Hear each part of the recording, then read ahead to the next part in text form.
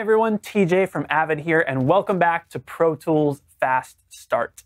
In our last video, we arranged our song, so now we have verses, choruses, intros, outros.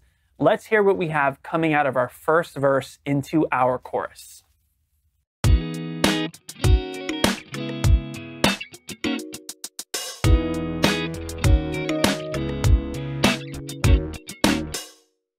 Okay, that's sounding really good. I like what we have so far, but today we're going to move into a very exciting part of any production, and that is tracking vocals.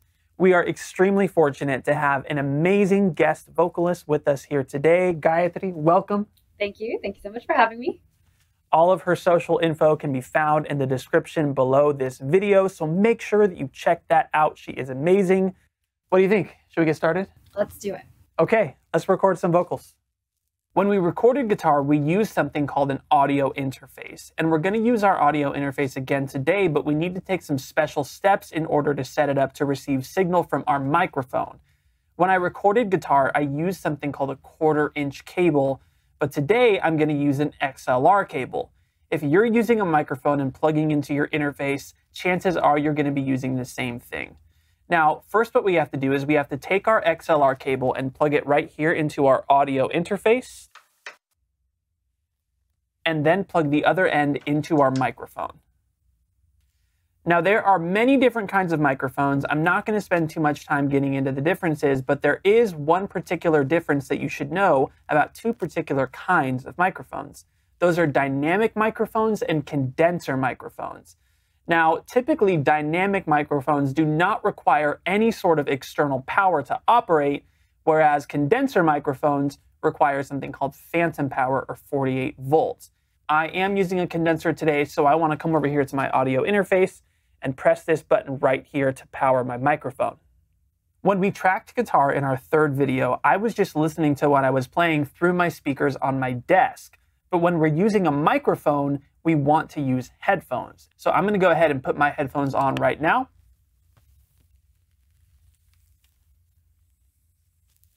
Now we're going to need a track in Pro Tools to record our vocals on, so let's do that right now. We go up here to Track, we click on New, and we want to create one mono audio track. We click Create, and Pro Tools has created a new track for us. And the next step is we want to make sure that the input on our I.O. matches the input on our audio interface. So we click this drop down right here, make sure that input one is selected as that's the input that my microphone is going into. Now I'm going to record enable this track and the next step is that we're going to find a nice level for the gain on our interface. Just like with guitar, we want to start with that gain knob all the way down. And as our vocalist is speaking, we want to turn it up slowly until we get that nice, healthy level. We don't want to touch the yellow or the red. We don't want to get anywhere close to peaking. We just want green. So let's do that right now. Let's set our level. I'm going to have our vocalist talk into her microphone, just counting to 10. You ready? One, two, three, four, five, six, seven, eight, nine, ten.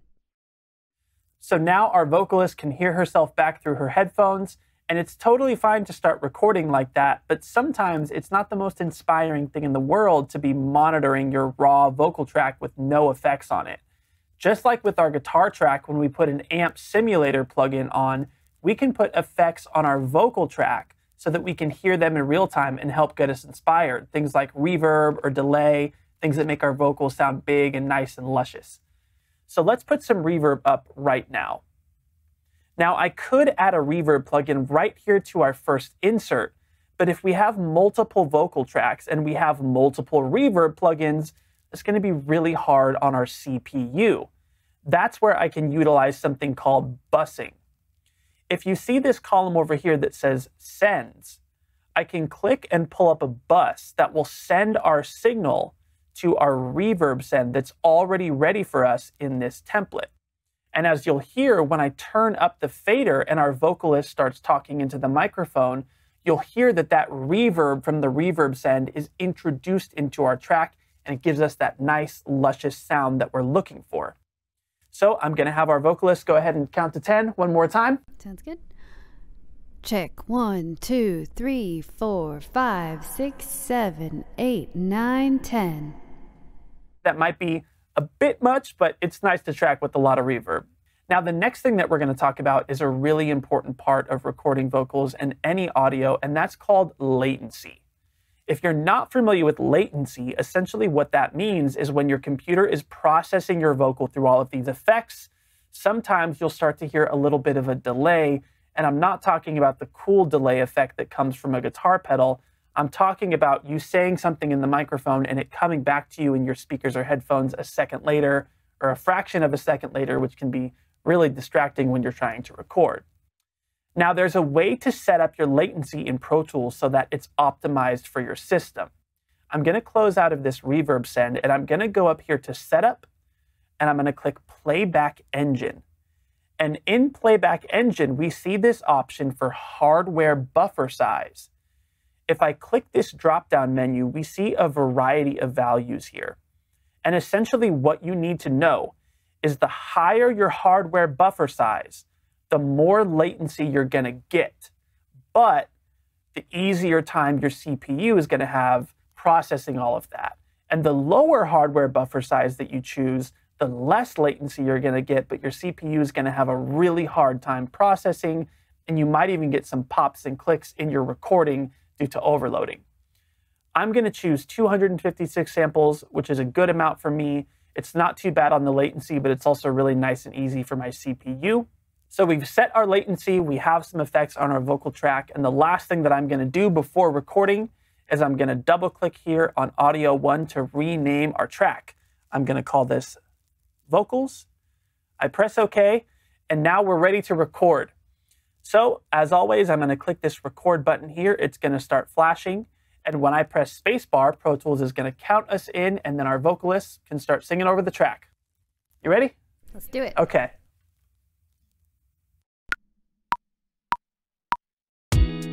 Mm,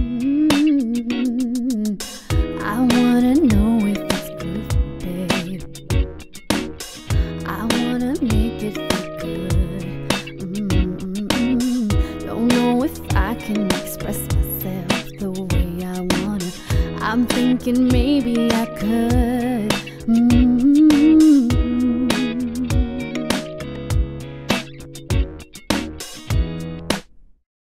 Okay, awesome. There is our recorded vocal. What do you think? I liked it. I would love to do that last part again. The uh, I'm thinking maybe I could that part. Okay, that's a great use case. So let's say that we want to retrack the very end of our chorus, but we don't want to touch everything we did up front because we still really like that part. What we can do is we can use something called pre-roll to set us up to punch in at the very end of our chorus. So I'm going to zoom in here and let's find the part that we want to retrack. I'm thinking maybe I could. Mm. So if I just started recording from right here, it's going to be pretty jarring for our vocalist who doesn't have any context on where we're coming in. And that's where pre-roll comes in. I can turn on pre-roll by clicking this button right here and pre-roll lights up green. And now we have access to this little yellow flag. I can click and drag this flag and essentially playback is going to start from wherever my flag is, but Pro Tools will not start recording until it hits this cursor. That way, our vocalists can still have context.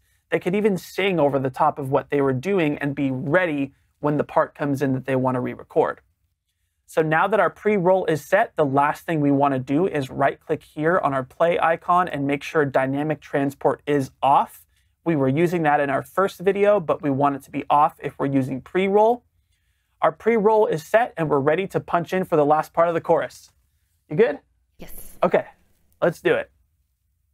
Click record, that'll start flashing. Now we press spacebar.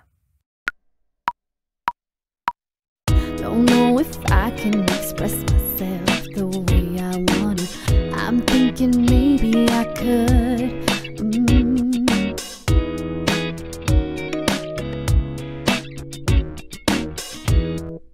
Awesome. And now we have a seamless vocal take. We were able to redo that second part without throwing anybody off. And we're ready to move on. Now, in between now and our next video, we're going to go ahead and finish our vocal recording so that we can talk about the next concept, which is mixing. Mixing is a very exciting and very deep part of the recording process. So we look forward to seeing you there. As always, thank you so much for joining us.